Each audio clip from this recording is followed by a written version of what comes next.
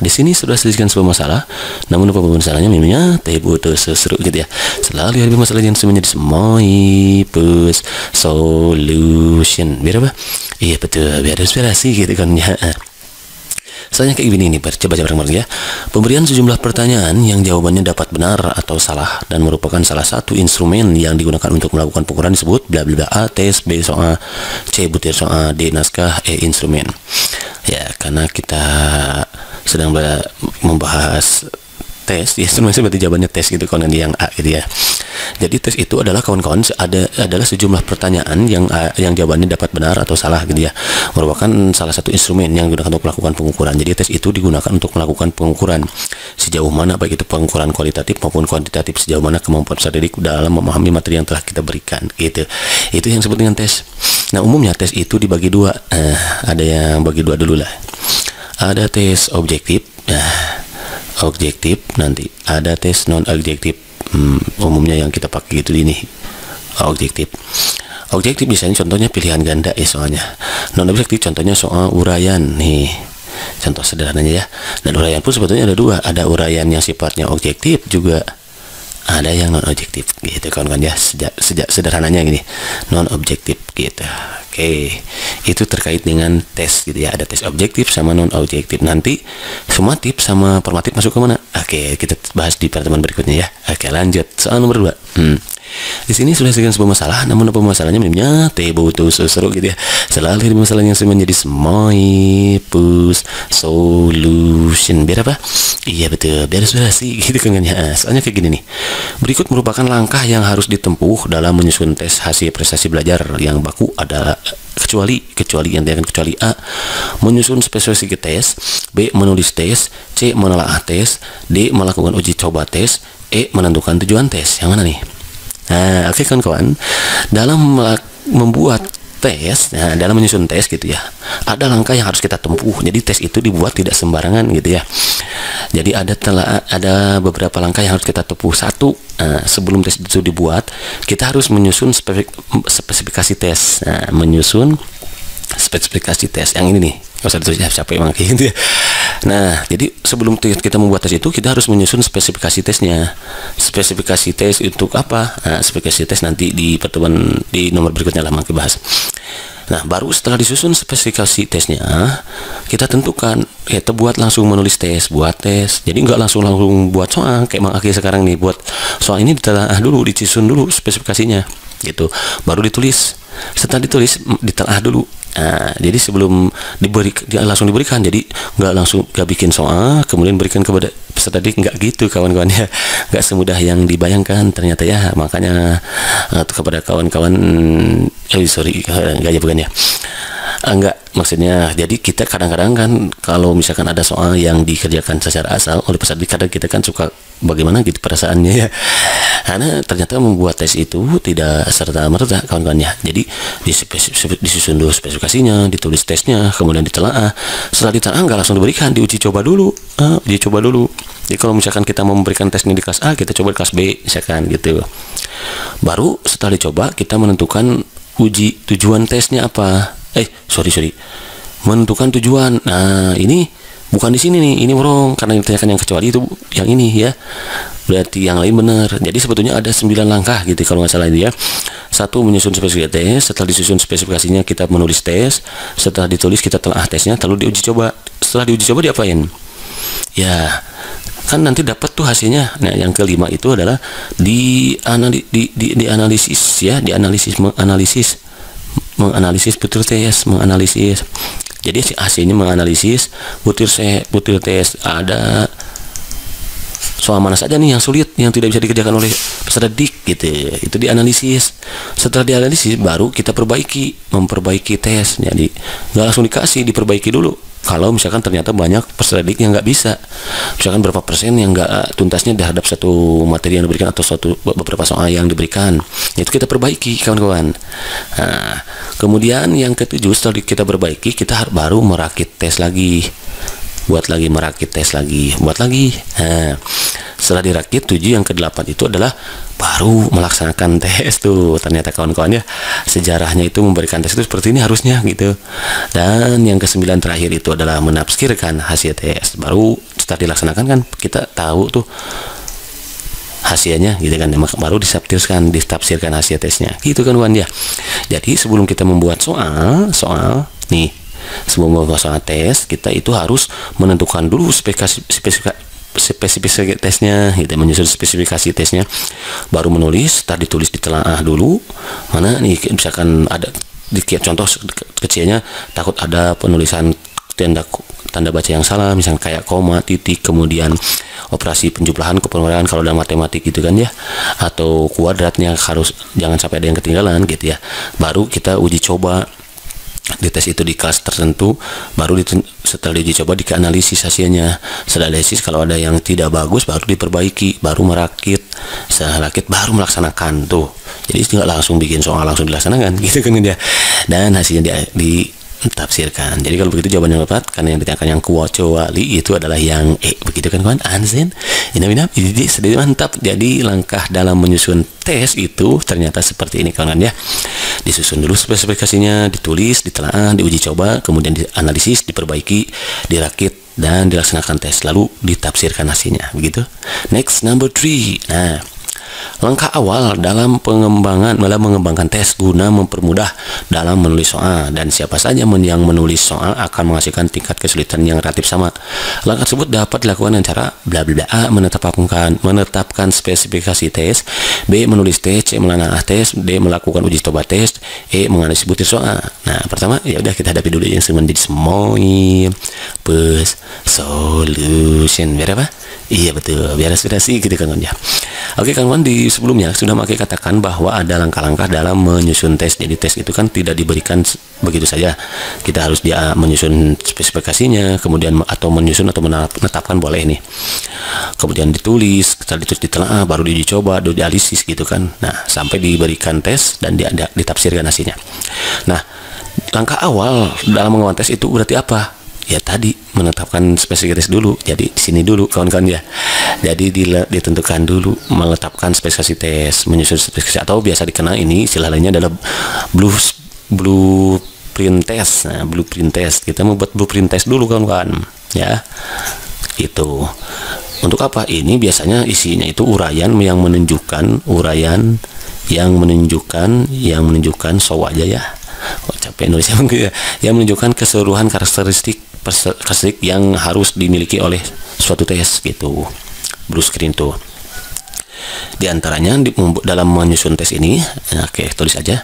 Dalam menyusun spesifikasi tes itu spesifikasi tes atau blueprint tes itu kita harus di sini nah menentukan tujuan gitu menentukan tujuan tes tujuan untuk apa tes itu? Nah di sini ternyata Nah, jadi ketika kita akan membuat tes itu ditentukan dulu tujuannya untuk apa. Misalkan mengukur indikator berapa, KD berapa gitu kan kan.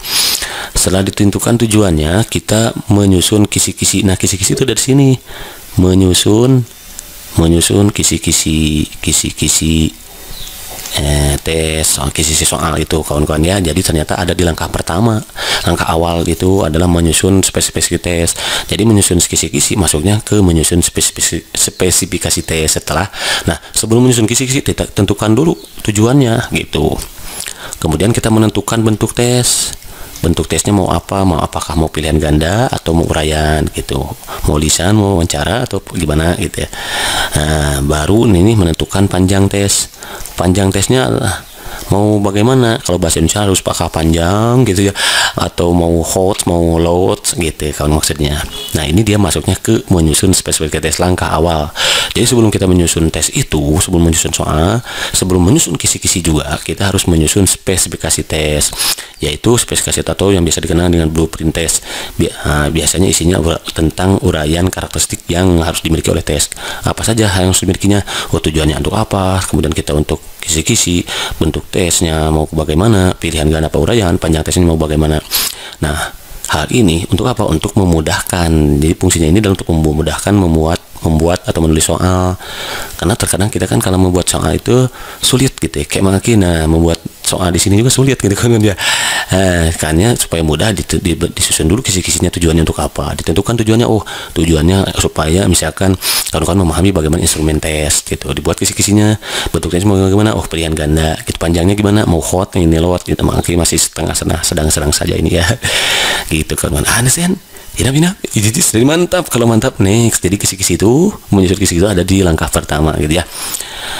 Yang berikutnya number 4 Yang terakhir make hanya berbagi empat soal dulu. Insya Allah next akan make buat lagi soal-soal yang lebih hot. Nah untuk kasus SKB pedagogik langilinya gitu ya. Berikut merupakan tujuan penting pemberian tes. Nah, tes itu di, tadi kan ada tujuan ya, kecuali apa? A. Mengetahui tingkat kemampuan peserta didik, B. Mengukur pertumbuhan dan perkembangan peserta didik, C. Mendiagnosis kesulitan belajar peserta didik, E. Mengetahui hasil pembelajaran. Nah, yang mana nih? Jadi ternyata kawan-kawan, oh E-nya mana? E-nya nggak ada ya? Oh ini benar semua, yang E nggak ada. Oh yang E yang wrong ya. Ini pertama tujuannya untuk mengetahui tingkat kemampuan peserta didik. Tes itu kan pasti ini untuk mengetahui tingkat kemampuan peserta didik masuk. Mengukur pertumbuhan dan perkembangan peserta didik sama bisa ya. Mendiagnosis kesulitan belajar tuh kan di video sebelumnya sudah maki bagikan bagaimana cara kita mendiagnosis kesulitan belajar salah satunya melalui tes ini. Itulah sebabnya tujuan tes adalah mendiagnosis kesulitan belajar didik. Kemudian mengetahui hasil pembelajaran tentu dong. Nah, berikutnya yang kelima itu adalah tujuannya untuk mengetahui no no aja biar gak capek. Pencapaian kurikulum tuh. Sampai ke kurikulum nantinya. Kurikulum sekolahnya pencapaian kurikulum gitu. Yang keenam itu adalah mendorong peserta didik belajar. Mendorong untuk mendorong peserta didik belajar. Karena kalau nggak ada tes peserta didik malas belajar gitu. Jangankan ada tes nggak ada tes. Ada tes aja sudah, sudah malas belajar kan bisa diri gitu ya. Eh, kita itu belajar kayak mau ulangan aja gitu kan kan ya SKS makanya setin kebut semalam katanya gitu ya. Nah dengan adanya tes itu mendorong peserta didik belajar. Jadi setidaknya mereka mempersiapkan diri untuk menghadapi pembelajaran tes tes nah dengan demikian memaksa mereka untuk membaca untuk belajar gitu kan kan. Yang ketujuh adalah mendorong peserta didik sama ini untuk melaksanakan pembelajaran yang lebih baik. Eh, melaksanakan pembelajaran yang lebih baik, yang lebih baik. Kenapa? Karena ternyata setelah tes itu diperoleh nilai kecil misalkan bagi mereka, otomatis dong dia harus dia kan akan merefleksi dirinya sendiri. Kenapa nilai saya kecil? Oh ternyata karena saya tidak memperhatikan saat pembelajaran berlangsung di kelas. Tidak bertanya kepada guru kepada bertanya kepada teman. Dengan adanya tes maka dia akan mendorong men, akan mendorong mereka untuk melaksanakan pembelajaran yang baik dia akan fokus lagi. Gitu kan kan ya. Ansen ini binap ini tadi mantap. Selalu hari masalah dengan sini menjadi semai pus solution. Biar apa? Iya betul. Biar inspirasi gitu kan ya Soalnya kayak gini nih. Suatu tes yang bertujuan untuk memperoleh masukan tentang tingkat keberhasilan pelaksanaan proses pelajaran yang nantinya dipergunakan untuk memperbaiki strategi strategi sorry sorry salah ngetik ini. Strategi di sini nih sorry salah ngetik ini. Siapa yang ngetik? Mana? Berarti salah. Gitu ya. Yang nantinya digunakan untuk memperbaiki strategi pembelajaran dan biasanya dilakukan sepanjang semester. Jenis yang jenis yang dimaksud adalah jenis tes maksudnya gitu ya. Jenis tes yang dimaksud adalah bla bla bla A tes sumatif B tes formatif C tes lisan D tes tertulis dan E tes objektif Nah, maka kawan-kawan untuk menjawab ini ya, kawan-kawan berarti harus tahu masing-masing daripada jenis tes ini. Nah, tes jenis formatif itu bagaimana, tes formatif sumatif itu bagaimana, tes lisan itu ya yang pakai lisan kan, tes tertulis yang pakai tulis, tes, tes objek itu apa. Oke, kita mulai dari sini ya. Kita mulai dari sini. Kalau dilihat dari tujuannya, nih dilihat ditinjau dari tujuannya atau dilihat dari tujuannya nih, maka tes yang biasa kita gunakan di lembaga pendidikan itu ada empat ya. Ada tes penempatan kawan-kawan penempatan. Kemudian tes diagnostik nah diagnostik. Nah, baru masuk sekarang. Tes formatif hmm, nah, masuk ke sini. Tes formatif dan tes sumatif jadi ada empat ya biasanya kita pakai gitu ya. kalau di gini ya di lembaga pendidikan kayak gitu nah kita mulai dari tes penempatan. Tes penempatan itu apa? Nah, tes penempatan itu biasanya dilaksanakan di awal pembelajaran ya. Biasanya di awal pembelajaran. Nah, bias nah, belum pembelajaran. Tes ini berguna untuk mengetahui tingkat kemampuan yang telah dimiliki peserta didik biasanya ya. Tes penempatan itu. Untuk mengetahui untuk mengetahui tingkat kemampuan yang telah dimiliki peserta didik. Tingkat kemampuan yang telah dimiliki peserta didik. Tingkat kemampuan yang telah dimiliki telah dimiliki PD peserta didik gitu ya. Peserta didik gitu kan Sementara diagnostik ini seperti yang sudah Maki katakan di pertemuan sebelumnya itu di program media ya ada kaitannya dengan program media nih tes itu yaitu tes untuk mengetahui kesulitan belajar kalau ini Eh, makanya ada kaitannya dengan program media. Silakan kawan-kawan cek lagi video Maki ya sebelumnya ya mengenai program remedia dan pengayaan. Ini untuk mengetahui kesulitan belajar nah, yang dihadapi oleh peserta didik tentunya ya. Tes ini dilakukan apabila diperoleh informasi bahwa sebagian besar peserta didik gagal dalam mengikuti proses pelajaran untuk pelajaran tertentu gitu. Jadi ini dilakukan apabila ada informasi bahwa peserta didik gagal dalam memperoleh dalam mem mem mengikuti proses pembelajaran untuk pelajaran tertentu itu tes diagnostik itu ya. Dan tes ini biasanya jadi dilakukan kalau ada informasi bahwa PD gagal dalam gagal mengikuti KBM lah gitu kegiatan belajar mengajar ya PBM proses belajar mengajar PBM aja lah gitu kan. Kemudian tes ini juga memberikan informasi tentang konsep-konsep yang belum dipahami eh, biasanya ya. Terus memberikan versi tentang konsep-konsep yang belum dipahami kemudian da, ataupun yang telah dipahami termasuk kesalahan konsep. Jadi di sini tesnya. Oleh karena itu tes ini biasanya mengandung materi yang dirasakan sulit untuk peserta didik gitu. Nah Sementara tes formatif itu bertujuan untuk memperoleh masukan nih, memperoleh masukan, memperoleh masukan, nah, masukan tentang keberhasilan proses pelaksanaan pembelajaran gitu. Yang mana masukan ini nanti digunakan untuk perbaikan strategi pembelajaran, nah, strategi gitu ya, maupun model maupun metode gitu tes formatif dan biasanya ini dilakukan secara eh, sepanjang semester nih.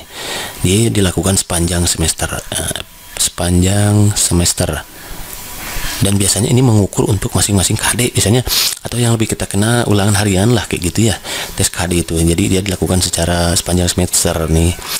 Jadi di samping dia akan mengetahui nilai atau keberhasilan belajar ini juga digunakan untuk mengetahui ya keberhasilan proses pembelajaran. Jadi di samping keberhasilan mengajarnya, formatif itu dia akan mengetahui keberhasilan prosesnya, proses dan hasilnya. Nah, kita biasanya tes formatif itu. Sementara tes formatif, nah kalau tes formatif ini dibentuk di sorry, biasanya diberikan di akhir satu tahun pelajaran. Nah, akhir tahun nih, akhir tahun, akhir tahun atau akhir semester, gitulah ya. Hasilnya biasanya untuk menentukan keberhasilan peserta didik pada pelajaran tertentu dan biasanya nyatakan dengan lulus atau belum lulus gitu kan tuntas atau belum tuntas. Gitu kan kan ya? Jadi biasanya kita kena contoh lah pas ya kalau sekarang itu dulu uas ya penilaian akhir semester atau PAT penilaian akhir tahun gitu uas gitu ya. Ini jenis tes sumatif.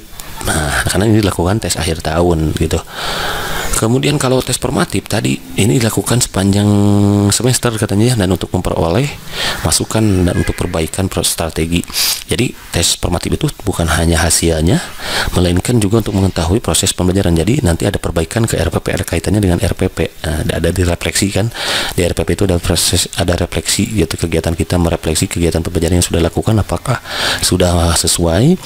Kemudian nantinya akan berguna untuk perbaikan kita rencana tidak lanjut gitu kan kan ya jadi kalau begitu jawaban yang paling tepat mana ya di panjang semester oh berarti kalau gitu tes formatif begitu kan Wan? Ansen? Tidak minat jadi tadi seni mantap